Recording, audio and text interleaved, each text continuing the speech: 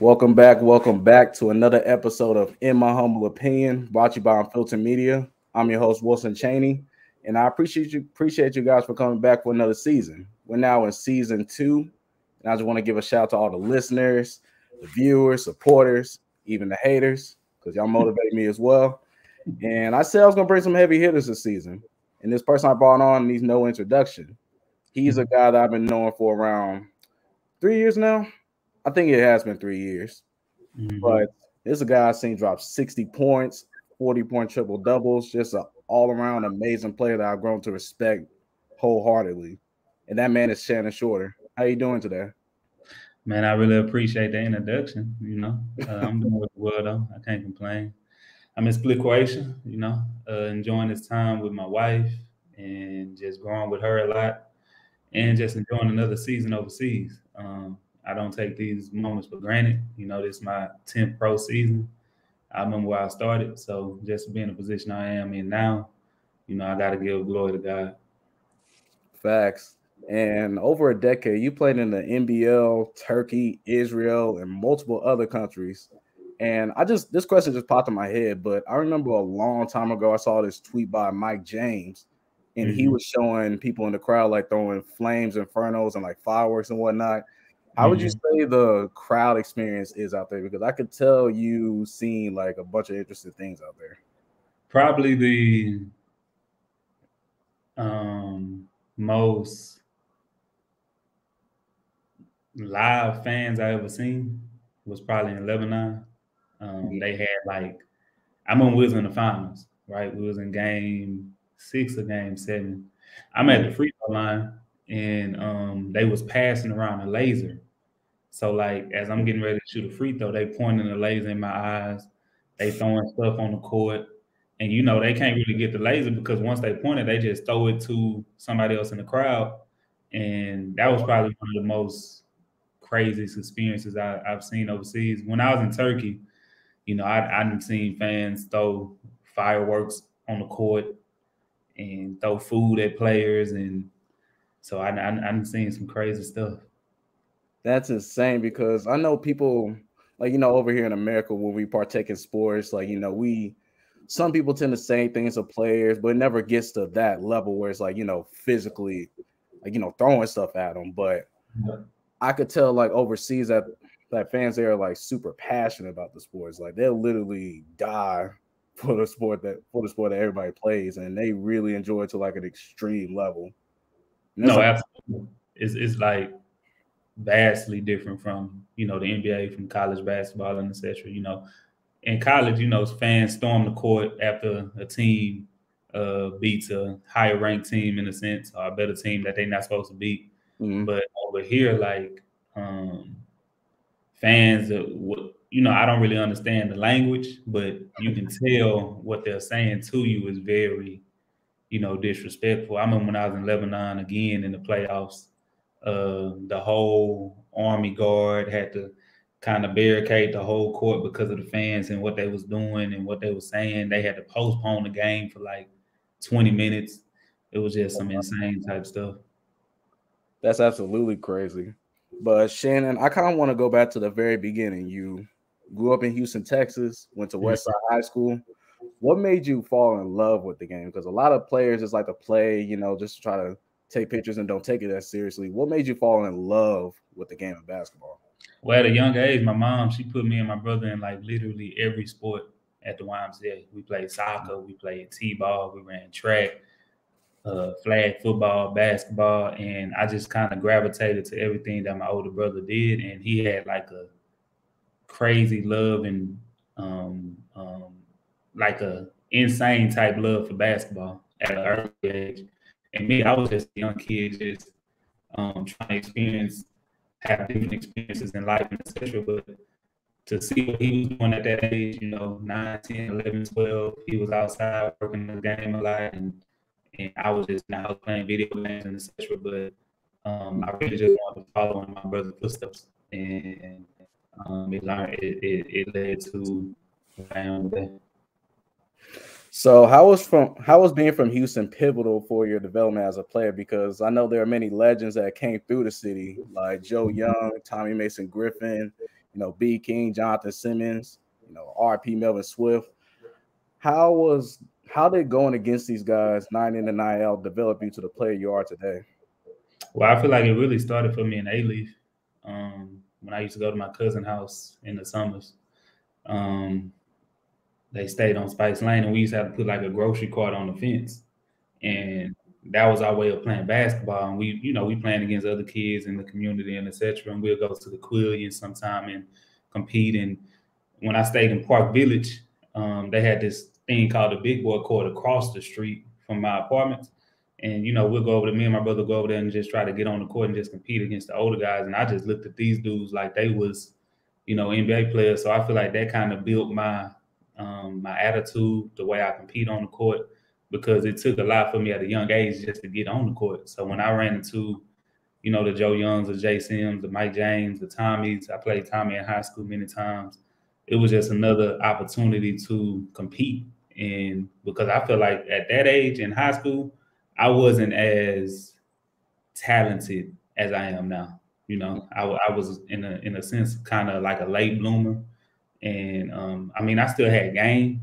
Like I still, you know, had quote unquote accolades in high school and etc. I had scholarships to schools and etc. But I wasn't nowhere near the level of a Tommy, Jonathan Simmons, uh, uh, who else was in the city at that time? Um, Jay Lucas, Gary Johnson, those type of players. I wasn't nowhere in their um, category, so I had to work extremely hard just to prove to myself and just to, you know, let myself know that I can I can do this at a high level, but it's going to take a little bit more effort. I know when we first met, it was in the next pro league, and that's pretty much where that's a program where all the top talent from Houston come into one setting and compete against each other. As is there anybody from the city that you're still itching to go against that you haven't? Uh, no, not really. You know, I feel like I haven't played everybody who that usually come out in the city, but I just always enjoy competing against uh, Oliver Lafayette, uh, Danuel House, Jay Sims uh, D'Angelo. You know, I just enjoy competing against those guys because um, I just know well Oliver. He was one. He was somebody that really just kind of mentored me when I was just trying to get on on a professional level and etc. Him, Mike James, John Lucas. Um, they all kind of just mentored me, took me under their wing, used to invite me to workouts, used to just uh, allow me to work out with them just to mm. um, learn the nuances of what it is to be a professional basketball player. And so anytime I get a chance to, you know, see them dudes or just catch them in the gym, it's always strap up. Like how Michael Jordan told Magic Johnson, "Wear your shoes at. We can go at it right now." Mm-hmm. That's how it is when I see a Mike James, Oliver, you know, Jay Sims, and those type of guys. That's just the type of aura and vibe you get every time you step in Houston. Because even in the weekends when folks are playing at Fonde, those games mm-hmm. are competitive still. Like it's literally cutthroat.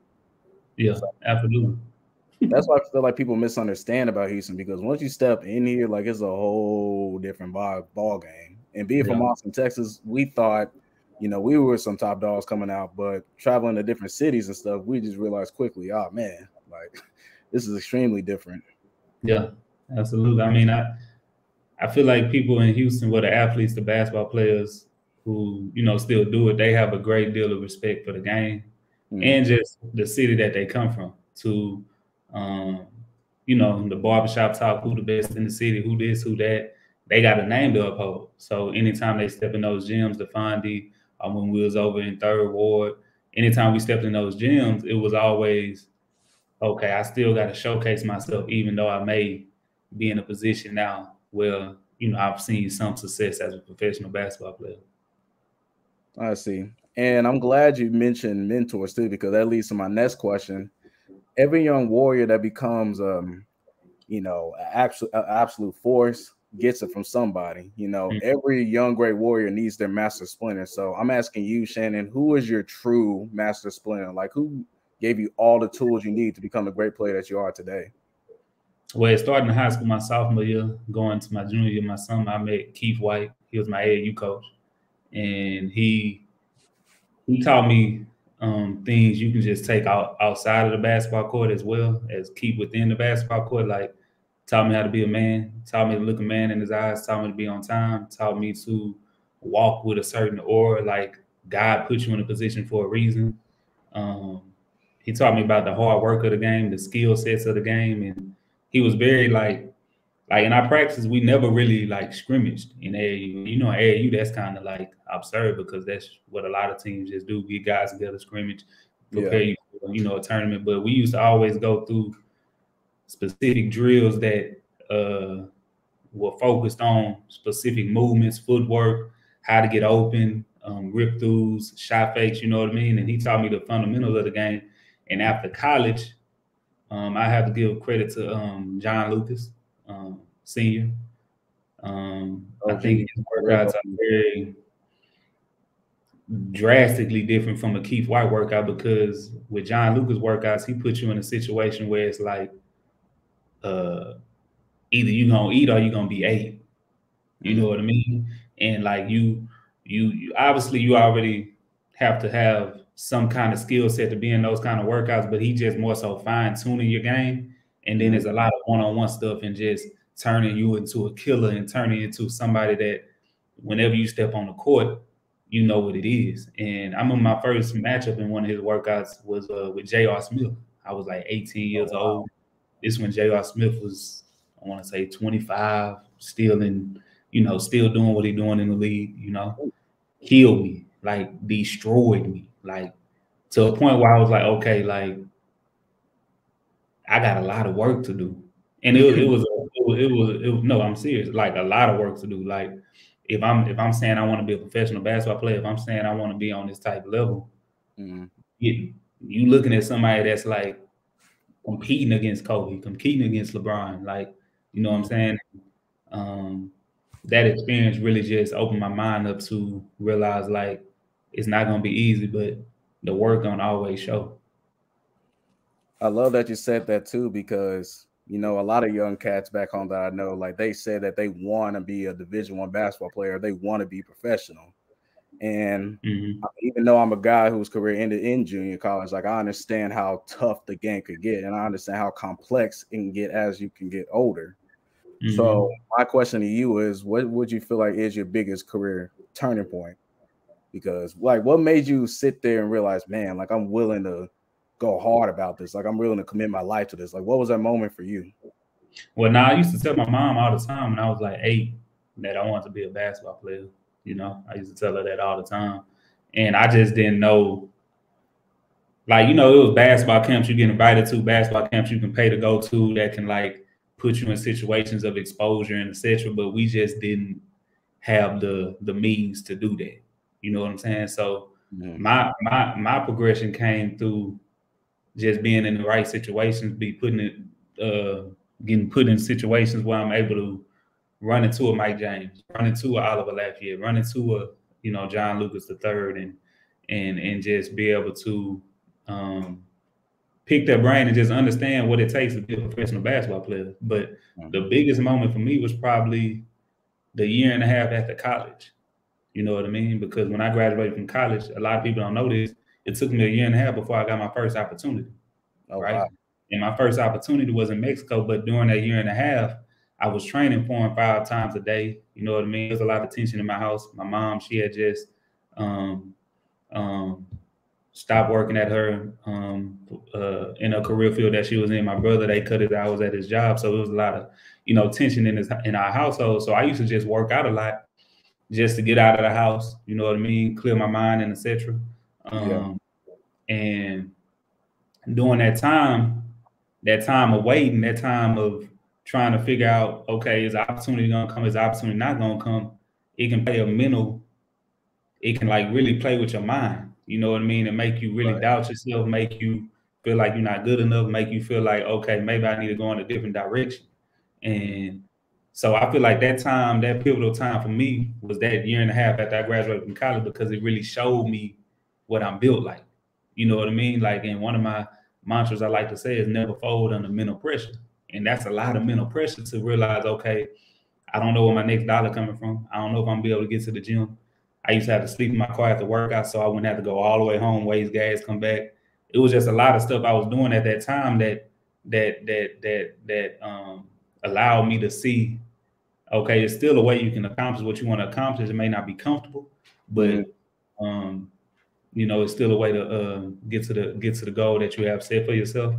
And so that was the pivotal point for me. And during that time, um, Jay Sims was right there with me. You know what I mean? So we used to work on the on a uh, parking lot parking cars, fifty dollars a day. Oh wow! And, um, yeah, I mean, it was just a real life grind just to get out of that. And ten years later, you know, God put me in position.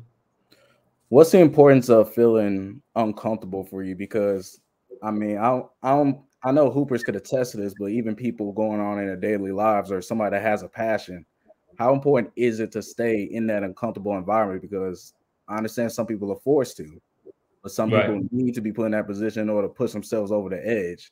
Right. So, how important would you feel like that feeling is of being uncomfortable? Um. So one of my favorite scriptures in the Bible is in the uh, times of prosperity rejoice, in the times of adversity consider God has made the one and the other, so man would not know what come back. sorry about that. And basically, to me, that's what that's saying is never get too high, never get too low. Mm-hmm. You know what I'm saying? Because when when you have highs in life, okay, it's cool to you know rejoice and celebrate them. When you hit them low points in life, don't fold though. Just be still and realize, okay, I'm in this season for in in this season for a reason. God put me in this position for a reason. What is it that He's trying to show me in this season? Mm. You know what I'm saying? So when I first got my first job in Mexico, after the year and a half of grinding, everything I had went through through up until that point had built me for that situation. Mm-hmm. I didn't pray for you know a million dollar contract. I just prayed for opportunity, right? And right. so when I got to Mexico, um, my first team I was on, they traded me, right? Mm-hmm. So I traded to a team right when I get to Mexico. That team traded me to quote unquote the worst team in the league. So my right. first week and a half, I'm hit with adversity. Hit with I don't know what's going on. I don't know what's gonna happen. But I met a man who said, "Look, I don't have that much money, but I'm gonna I'm gonna put the ball in your hands and you I'm gonna give you the opportunity." Right? That's all you can ask for.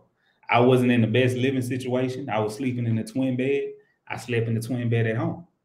You know what I'm saying? Right. I had to I had to, I had to be uncomfortable for a season, and ten years later, um, you know, I'm married. I have a whole wife. I'm very comfortable. Um, mm-hmm. But that season of my life, it built me to realize like um, hard times they shape you or they break you. Now it's your response to the hard time that's gonna make you is that's gonna sustain you. Right.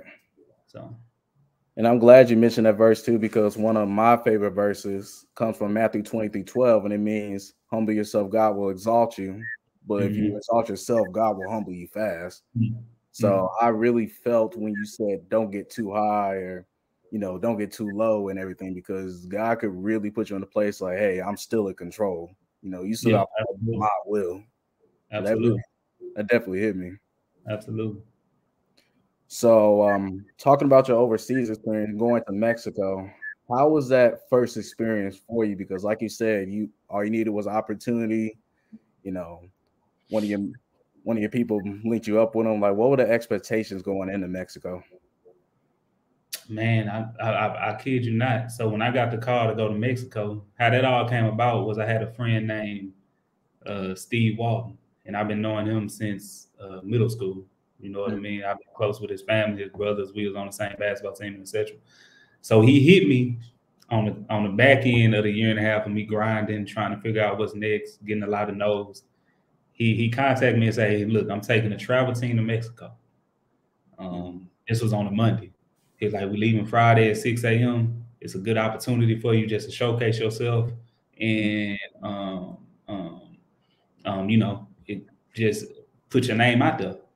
And what I tell a lot of you know the homies in the city is that the opportunity that you want may not look like how you envisioned it.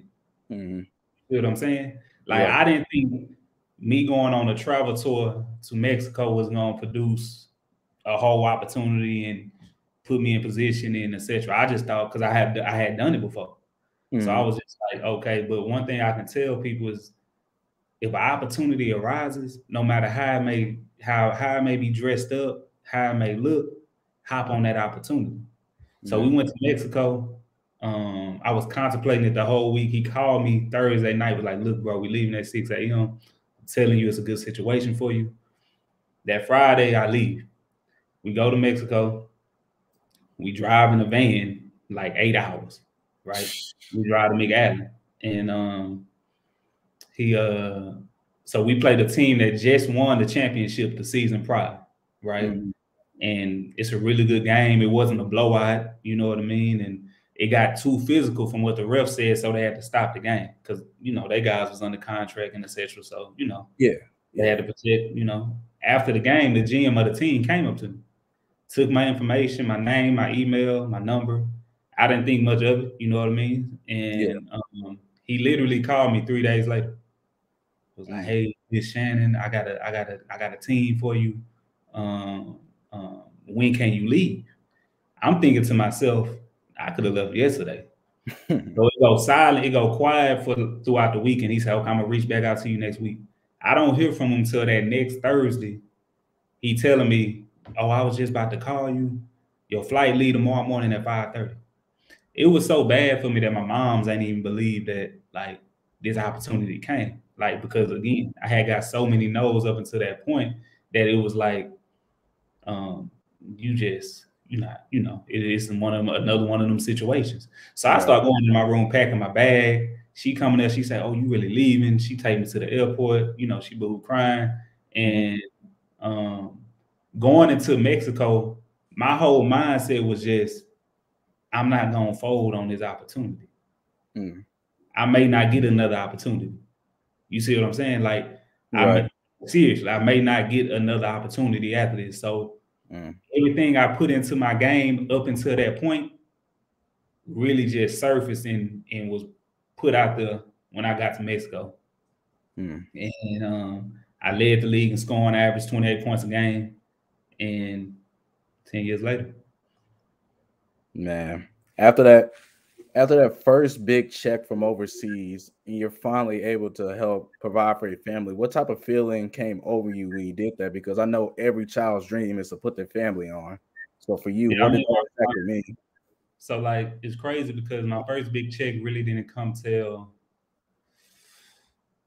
maybe three, four years later when I signed in Japan. But when I was in Mexico, I made five hundred dollars a month. I mm. still was sending money home to my people. I still was giving my tithes to the church.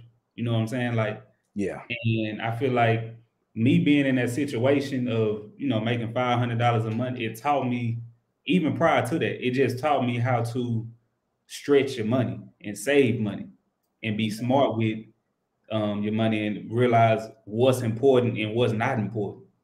Right. You know what I mean? Because when you only got twenty dollars to your name and it got to last you from Tuesday to Sunday, mm-hmm. you gonna figure out a way to make that work. You see what I'm saying? So, mm-hmm. um, but when I got in position, um, it was a blessing, you know, um, because I put my mom in position. I got her a food truck business, you know, and that's something she she been wanting to do. So, you know, I invested in her food truck business. Um, my family, you know, they they know if they need anything, they can reach out. And mm-hmm. then obviously I'm married, I have a house, um, I have plans with my wife. Mm-hmm. Um, that's the ultimate blessing right there because I've been knowing my wife since we was 15. We've been friends. We was friends for a very long time, and um, so she know a lot about what I've been through. Mm-hmm. So just to be able to share in this journey with her is uh sensational. Absolutely. So, how do you navigate the market overseas? Because in basketball, you know, it's all about the situation, the system that you put in. What advice would you give to, you know, a young guy coming out of college that wants to test his overseas market? What advice would you give him in order to be successful? Uh, one thing I can give somebody coming out of college, coming overseas, is don't take the opportunity for granted. You know what I mean? Like don't think because you finally you you got an opportunity that is gonna continue. Like when you get that first opportunity, that's basically like your coming out party. Right. And you gotta show yourself faithful. You feel what I'm saying? Like, mm-hmm. like I said, like me going to Mexico, had I not dominated what I did, I probably would never got another opportunity after that. So I tell a lot of people all the time, I say, look, like dominate your lane. And I'm not just talking about scoring the ball. I'm talking about separating yourself on the court. You got to look different from everybody else you competing with. You see what. I'm saying? Because because when it come that next year to, to get another opportunity, they gonna look at your film. Mm-hmm. If you looking subpar on film, they gonna say, "Oh no, nah, we don't, we don't want, we don't want that." And the overseas is very cutthroat, very cutthroat. Mm-hmm. So to make it to ten years in a profession that's profession that's very cutthroat and they really don't care about you and etc. You may come across some teams, some coaches that really genuinely want your well-being and etc. But a lot of times, like they use you as long as they they they they, they use you as long as as long as as long as they can. Mm. And when they done with you, they done with you. So one thing I'll say is one, look out for yourself, and two, dominate your lane. Don't take opportunities for granted because it's not sweet. It's it's like I like I tell people, it's 400 jobs in the NBA, right? Right. We got all these countries overseas. We can say it's probably 2,000 jobs overseas. It's millions of people that want one opportunity. Mm. So what are you doing to separate yourself? What are you doing that's gonna say, okay, I want to sign him? You see what I'm saying? And mm-hmm. it always goes back to your routine. It always goes back to you being disciplined. It always goes back to um, the work you're doing in the off season and not cheating the grind and being being honest with yourself. Mm. When it comes to film, what would you say? You know, I'm kind, I'm kind of making you put a coach's hat on now, but if you're an overseas scout, what are they mostly looking for as far as like, you know, different from the NBA and other professional leagues? Because I heard a lot of things about overseas and that, about how different the structure is wherever you go. So what mm-hmm. do they mostly look for? I mean, it's, it's just it depends on where you're going too. Like the higher up, like Euro League, um, excuse me, Euro Cup, Champion League, these these high up leagues, uh, Spain, France, Turkey, and etc. Mm-hmm. They looking for a specific, um, a specific player to do a specific uh job on the court. Mm-hmm. Like, for example, uh, a team called Red Star in um, Serbia, they're a EuroLeague team, right? Right. They have, I want to say like three Americans, and I was talking to my agent, and he was telling me like, okay, this guy here, he's there only to make 3s mm. So, so that team, they'll look at okay, what are his percentages from three? They'll watch film, see if he can catch a shoot, shoot off the dribble, you know, and etc. Then they'll look at another guy and say, okay, I'm looking for you just to defend the best player on the other team and just make an open three or make an open shot. I don't need you to create for nobody. I just need you to play hard, bring energy, bring effort, and etc. Mm-hmm. And then they'll look at the film and say, okay, I, I need a score. Mm-hmm. Right? I need a flat out killer. You know what I'm saying? So it just each each um country, each club, it varies by what the team needs, but it's specific to the player they want. Right. So when you say when you say cutthroat, and I'm speaking for the people that doesn't really know what goes on overseas because I, mm-hmm. I mean the real hoopers know, but there's some people out there that think, oh, if you're not in the NBA, oh, I don't think you're a basketball player. Like there's really casual people like that out there. Mm-hmm. And I remember a quote that Lucas said one time. He said it's harder to play in Europe than it is in NBA. And I thought about it. And now that you're here, I'm really itching to ask you this. Like, would you say that he's right to a sense? Absolutely. You got so much space in the uh, NBA. It's hard to like just everything that come with overseas. Like they be betting on, they bet on games, they gamble on games. Mm-hmm. Um, um, it's super hard to win on the road overseas because referees get kind of dictated by the fans and and it's just it's just very difficult. And then just in the sense of NBA, you got a lot more space. It's no defensive three. It's defense three seconds in the key. Mm-hmm. Overseas, it's basically like college rules as far as like helping and and and being in the paint and crowding the paint. There's not that much space, mm. um, and it's more like ball movement. And and you know, in the NBA, it's more like ISO ball. Overseas is more like you actually got to have some kind of. I'm not saying that NBA they don't have a basketball IQ or mind for the game, but yeah, yeah, you got to really like be able to okay make a pocket pass, make mm-hmm. the right read off the pick and roll, um, um, um, be in the right position on defense, and then you got to deal with stuff off the court like being paid late and sometimes not being paid at all, and worrying about how your family gonna get here, and and just the foolishness that come with being overseas, or like like when I, I left Turkey because my president basically went broke, like oh wow, didn't have the money, and mm-hmm. he kept lying to us, and then he finally had to just say, "Look, I don't have the money," um, and it's just stuff that you deal with like that. Or like in Ukraine, a whole war going on, and mm-hmm. like like some Americans can't even leave. Like you know what I'm saying? Like you're not dealing with that in the NBA, so it can like be a mentally draining type thing to where it's like, man, I ain't like like you questioning like, okay, did I really sign up for this? So your passion for the game got to be so deep that you like whatever going on. I know why I'm here. I know what I love to do. I know how long I've been doing this. Mm-hmm. And I meant to ask you about this, what's going on in Ukraine too, because there are a lot of professional players that, like you said, can't leave the area. And I know mm-hmm. Shabazz Napier just got sent home from Ukraine. So, uh, do you have any friends out there in the area right now dealing with what's going on? Yeah, actually, you know, D'Angelo was in Ukraine, and I mm-hmm. talked to mm. him, and uh, he not obviously he not there no more. You know, he in a whole nother situation. And then a homie named Teray Murray, he was in Ukraine. He just got home probably a week ago. He was stuck at the border for like 15 hours, he told me, and it was just some unfortunate, you know, stuff going on. This is just a crazy world that we live in where um, things that are outside of your control mm. really have an effect on your livelihood. Right. And, um, it's very unfortunate.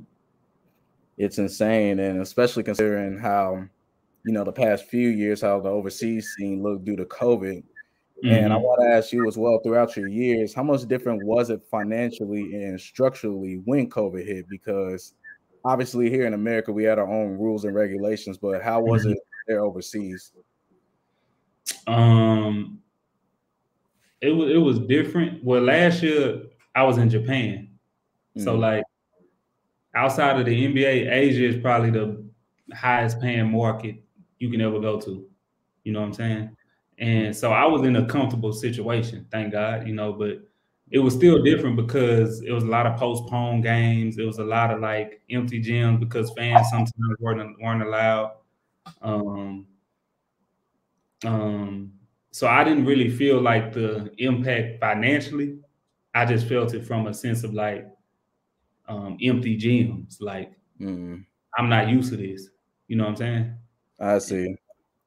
Mm-hmm. And on the point of empty gyms too, there was a lot of talk people have been saying about the NBA bubble about how you know the games there didn't count. It was amplified because there's no fans there. It was like a wide game. Like, what's your exact opinion on that? Because I'm on the fence of how to feel about you know the bubble. You know, so mm-hmm. what's your opinion about that?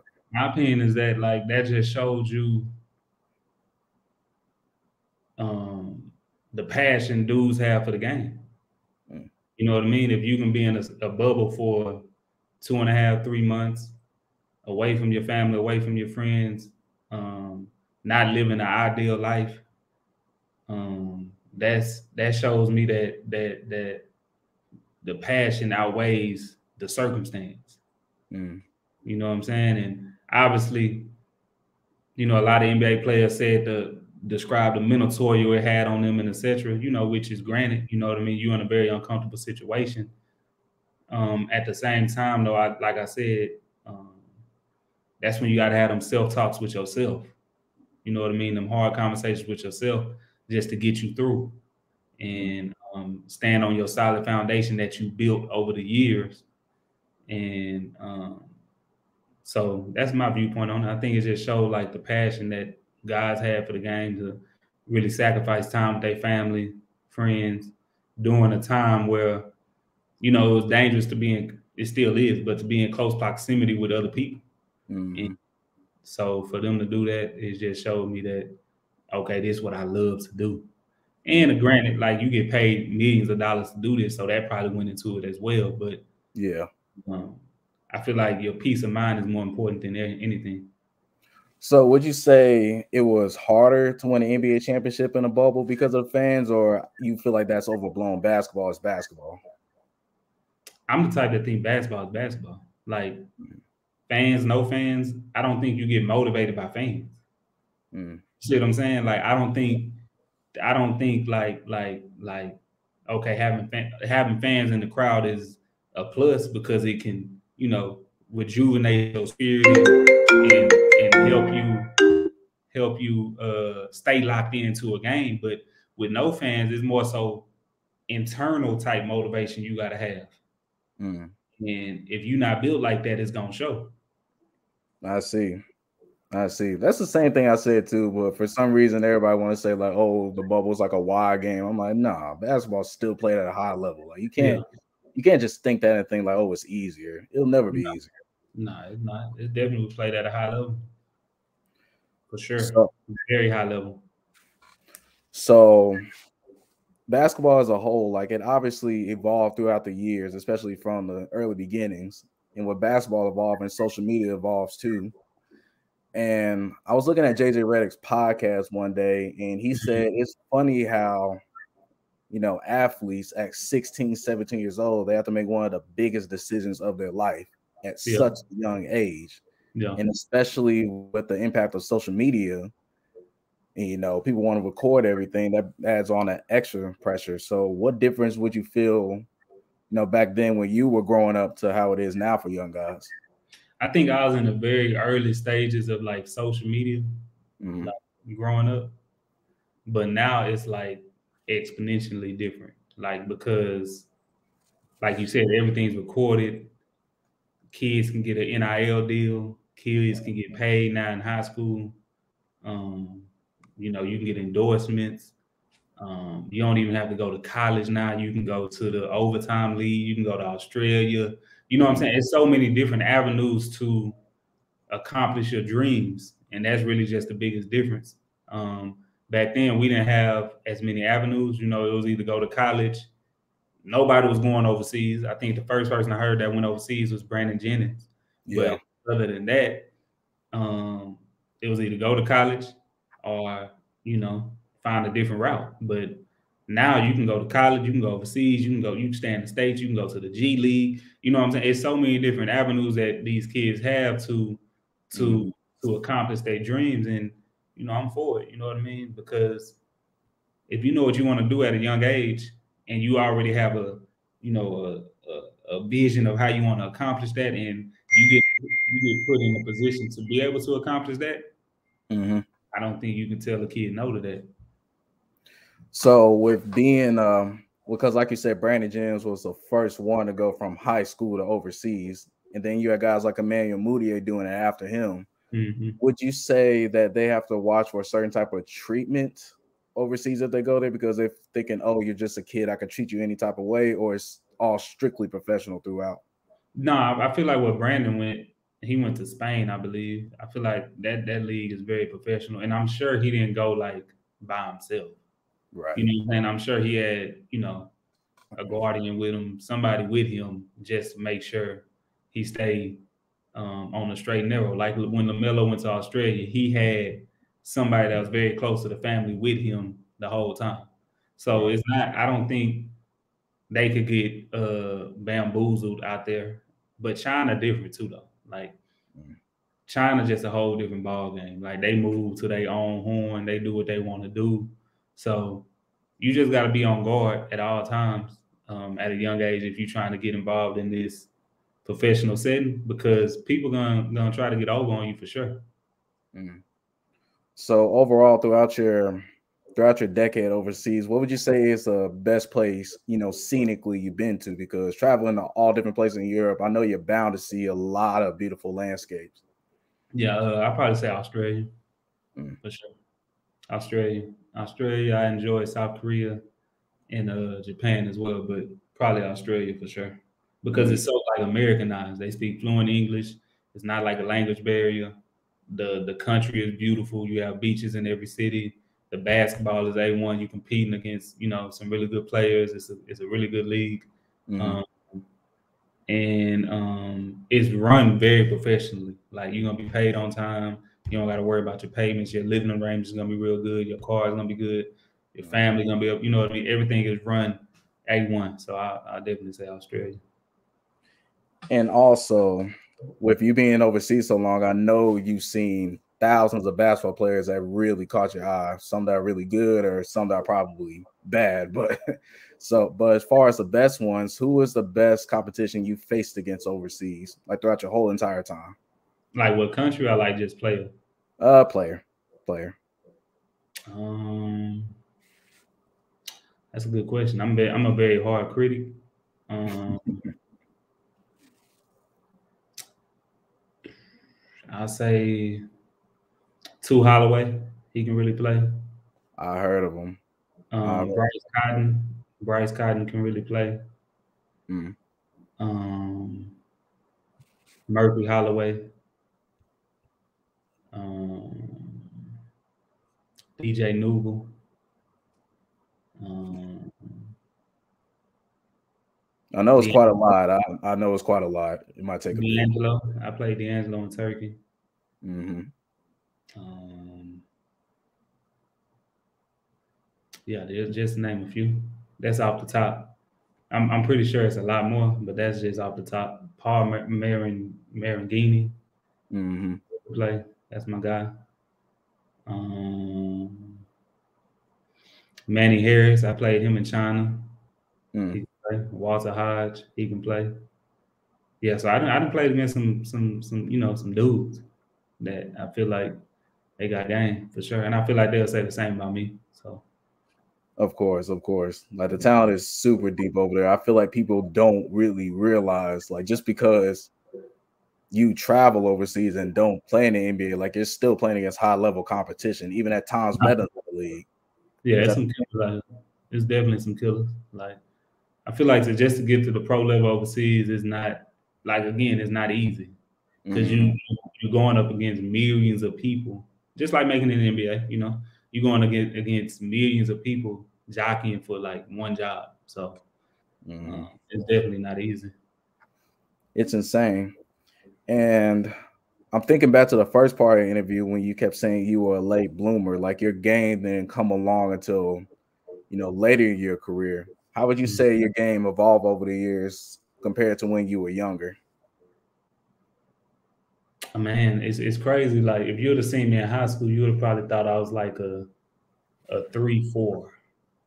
You know what I mm-hmm. mean? But I used to play a lot of positions in high school. I used to bring the ball up court one. You know what I mean? Mm-hmm. Um, just just the nuances of the game, the handle, the shots, the the the um, mental focus I need, the defense, being able to guard multiple positions and um, competing and, and um, just realizing that when you become a pro, it's not about like an open shot for a pro is different for an open shot for a college kid. Right. You know what I'm saying? And mm-hmm. like, so like a shot you didn't see me play, a shot that I shoot may not look open to a lot of people, but I'm like, this is an open shot for me. you know what I mean? And so just realizing like where my spots are on the court, being comfortable in that and um, letting it translate. And I mean, I got to give credit to my trainers too, Mike Bud, Jay Craft, uh, Gene. When I was working with Gene, my my my physio, my sports trainer, uh, Cap. You know, uh, we lock in every summer. You know, and we get to it. So I hold them accountable. They hold me to a high standard. I hold hold them to a high standard, and I obviously, you know, look at games from prior seasons, see why I can be better. Mm-hmm. And um, you know, Bug and uh, Jay Crab do the same. And when we get in the gym, they hit me with new uh, scenarios I maybe put in, new situations that can help fine tune my game, and mm-hmm. I really lock in with it and just try to, you know, go from there. I remember I was on campus the other day and I was talking to one of the assistant coaches because I go to Texas Southern, by the way. Mm-hmm. And we have an assistant coach named Josh White, and he went to UNT. Mm-hmm. I think he was there the same time you was there too. Mm-hmm. And honestly, I'm kind of going off the rails from overseas to college, but how was your experience at North Texas? Um, it was it was fun. That was when I won my first championship in college. Well, second actually. Mm-hmm. Um, but my first year at North Texas, we won the championship. Second year, we lost in the final at the buzzer. You know, playing with Josh was a lot of fun. You know, and all my other teammates, Tristan Thompson, George, uh, LB, Kid. You know, I, I, the list goes on. Um, so just being able to compete with them guys, we got memories that's gonna last forever. Obviously, when you win a championship, is is different. You know what I mean? Because you connected to a group for forever. You know, because now you got a banner, it hang up and etc. Mm-hmm. And um, yeah, my, my time at UNT was very fun, but it was also very challenging because my coach, um, like I tell, I, I tell a lot of people all the time, like trust your work. You know what I'm saying? Trust your work. Like, um, is is is very tough when you you want to play instinctively, mm-hmm. but you feel like the coach is holding you back or if you do something, you got to look over your shoulder and you nervous. You know what I'm mm-hmm. saying? Because of what the coach has said to you, and right. um, that that could kill confidence quickly. And my confidence was hit. My coach used to tell me not to shoot. He used to just tell me, "I just need you to play defense, mm. rebound, don't shoot." You know what I mean? And you telling somebody that I'm 19, 20 years old, and you telling me that, and um, why did you even bring me here then? Exactly. You know Like what what what if you don't even want me to shoot, like not even try to look at the rim, anything, make me this one dimensional player. Mm-hmm. Bring me here. Like it's but literally killing your game. For sure it was. For sure it was. And that that was just a testimony again to just the fact that, like I tell all the young guys in the city, just trust your work, bro. Trust mm-hmm. it. You putting in the work, the work gonna show. Exactly. Like when you second guess, that's the worst player you can be as a player that's that's hesitant and second guessing it and mm-hmm. thinking too much. Just play.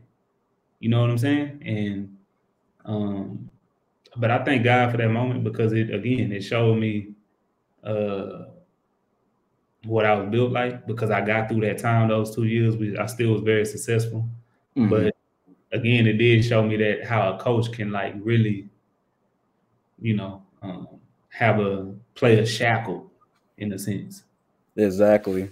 And that brings me back to um there's one other podcast episode I saw with Gilbert Arenas, and what he was discussing was how much high school players or or college players are ruined by these shackles. Like in high school, you were pit bull, like you were all mm-hmm. candidate, you had you know multiple awards, and then you go to college then you literally in this box. Like you can only do this one part of your game instead of the other where you thrive in. Yeah. So I feel like it's really important for kids to go to a program to where they're able to, you know, expand their game. Like they're mm-hmm. able to do what they're doing before, but then add another element. Perfect, perfect example is Steph Curry, Dame Lillard, Ja Morant, CJ McCollum.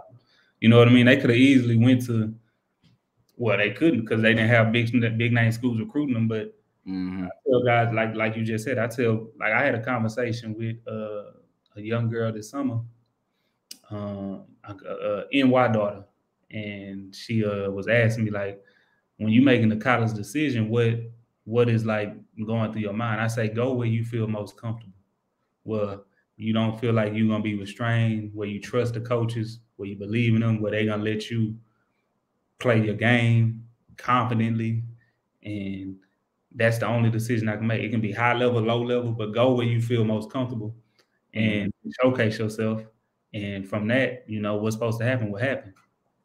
Right. That's absolutely true. And kind of going to the NBA because you mentioned those guys. Um, when you were watching the game growing up, who were the players that influenced you or guys that you wanted to play like? Like who had a direct impact of the development of your game? Off top, Michael Jordan. Mm-hmm. Um, Kobe, T Mac, AI. Uh, I used to love KG. Um, that yeah, that little group right there. And then in this new era, uh, KD, Steph. Um, I'm, I'm loving Ja Morant, Dame Lillard. Mm-hmm. Uh, I love to watch Draymond. Um, Brian, obviously, you know, I feel yeah. like he's on everybody's list, but uh, yeah, but if I had to pick just one, I'd say Michael Jordan. I, I still watch film of him every day. Mm-hmm. I could kind of see it in your game too because you thrive off the simple things in the court. Like your game is not super flashy, but it's hella effective. Mm-hmm. Like I mm-hmm. remember I was watching the highlight film of you in Turkey.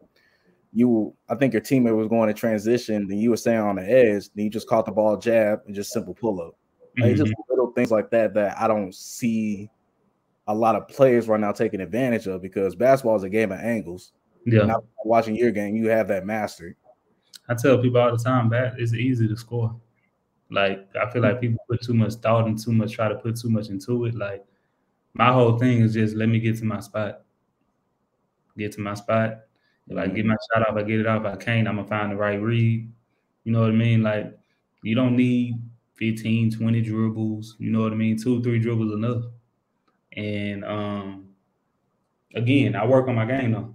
And you know, like I said, I was a late bloomer uh, God did bless me with a talent for sure, but I had to work at it as well. And um, you know, uh, I'm in a good position ten years later. You know, a lot of people in the city try to reach out to me and work out with me and etc. And you know, I just try to be a, a, a, a sponge to them and just let them soak up what they need to soak up. And because mm-hmm. um, I know, like, even though it's not like some I aspire for. I know like a lot of the guys in the city look to me, you know what I mean, for like motivation, for inspiration, and mm-hmm. I take it with a grain of salt, and you know, try to be be be what I can be. Facts. And if you were in the city right now, or specifically apart, you have to call five of your homies to play a game for what, 20K, 30K? Who would you call? Oh, that's easy. D'Angelo, Jay Sims, Jay Coombs, and um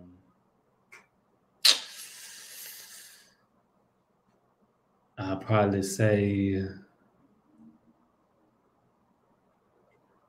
that's a hard one. I could tell. That fourth spot, I'll probably say PJ, maybe PJ. When he on his game though, he be BS. PJ, I call uh uh Justin Reynolds. I call JR, mm. B King. You know what I mean? I just know me, D'Angelo, and Sims ain't gonna lose. Oh no. Mm-mm. You know what I'm saying? Like times. me and D'Angelo won't lose. Me and Sims won't lose. Like as long as I got one of them, I'm I'm solid. Cause I know I know what I'm gonna get. You know what I'm saying? So absolutely. Yeah. And I know Coombs, I know he gonna give me at least uh fishing 15 and 10 easily. So I mean, if it's the bread on the line too, like when the bread on the line, you can't have people too emotional. Like you just got to be locked in, focused.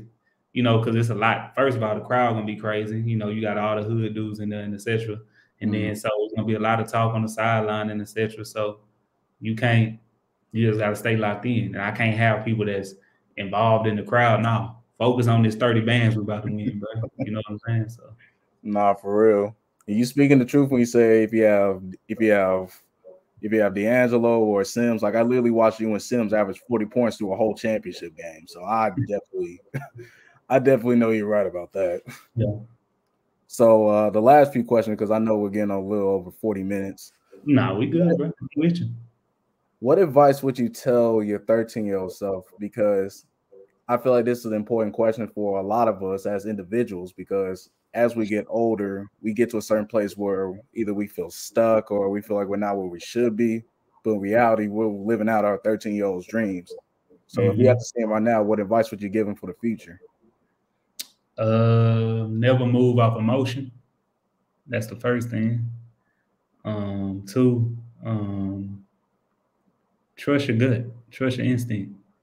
You know what I mean? I feel like as we go through life, we second guess a lot of stuff and you feel it like like you can feel it but it's like ah nah that ain't it uh, mm-hmm. and uh don't worry about what other people think you know what i'm saying like be your own man Um, um, um, and make sure you get you a solid foundation you can stand on. Mm-hmm. I mean, I got a lot of principles I stand on, and and then another is just move with integrity. You know what I'm saying? Like, don't do anything against your moral fortitude. Right. You know what I'm saying? Because like the Bible say, you upheld by your integrity. Who are you? You know what I'm saying? Don't try to fit in. Don't do stuff because other people doing it and etc. But move to the beat of your own horn. Mm. You know, and um, lastly, I would just say, um, it's cool to like be still sometimes, slow down. Mm. Everybody try to rush and try to get to the next.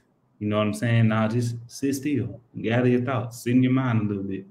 Mm. Because because in that moment of, of stillness, stuff will be revealed to you. Mm. And lastly, just always remember that you can't control what you know what may happen to you, what people do to you, what people say to you. You can't control your response. Mm. And your response, like I told you, is what sustains you. So um, make sure when you faced with um, some difficulties in life or whatever you may face, just make sure the response is coming from a place of mental fortitude. Yeah. I love it. I actually love it, especially to be still one. It's like you spoke to me a little bit, you know. like that mm. was that was a heck of a word. I loved it. And lastly, too, I want to talk about your foundation. It's only right. It's a great initiative where you go and help out. You know, you you donate supplies to high schoolers, middle schoolers, elementary schoolers. What was your motivation into finding that foundation? Uh, just knowing how I was brought up, knowing like my mama was a hustler. My mama got it done by herself. She raised me, my siblings, and she always found a way, no excuses. And I got a great deal. Obviously, I got a great deal of respect for my moms and etc. But you know, sometimes she made uh being uh she made being uncomfortable look comfortable. You know what I'm saying? And um, so just you know the way you know me and my mom my mama raised me, you know, and I just got a heart for people. You know what I'm saying? Because I know what you're going through.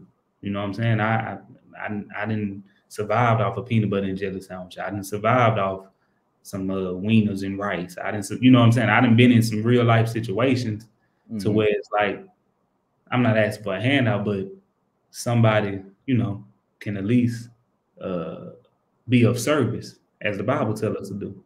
So my foundation, that's exactly what we're doing. We just serving the community, you know what I mean, uplifting the the, the average youth um, through scholarships, through my free basketball camp, through my uh, uh, back to school drive through my turkey giveaway. We just trying to be of service to the community and uplift the community and just be a light in a vessel, you know. And uh, I'm still trying to grow the foundation. This is my fourth year with it, and um, I'm excited about it, you know.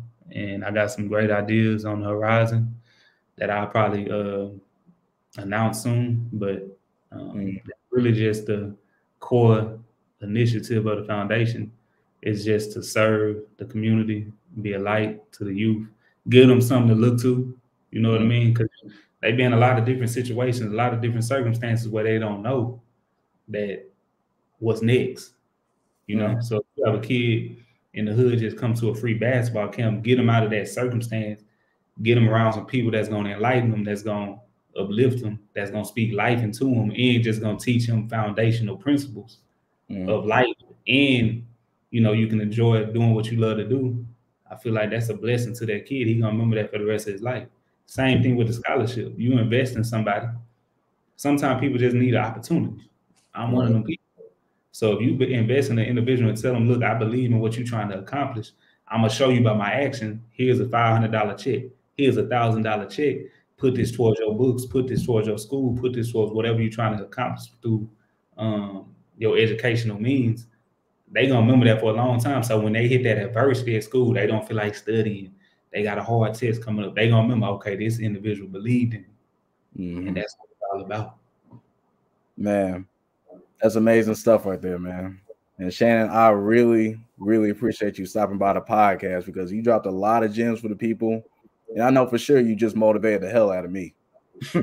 like I can tell you honest truth. Like you motivated the hell out of me. I'm pretty sure you will motivate a lot of people that listen to this episode. So Shannon, mm-hmm. man, I really appreciate your time. Nah, I appreciate you. Thank you for having me. You know, I'm gonna see you when I get back to the city. You know, it's always love, brother. Oh, yeah, most definitely, bro. We gotta link up. Yes, sir. So, ladies and gentlemen, I appreciate you stopping by for another episode of In My Humble Opinion. Like I said, season two, heavy hitters. Watch out for more to come. So I hmm. appreciate mm. you guys for showing up. Amen.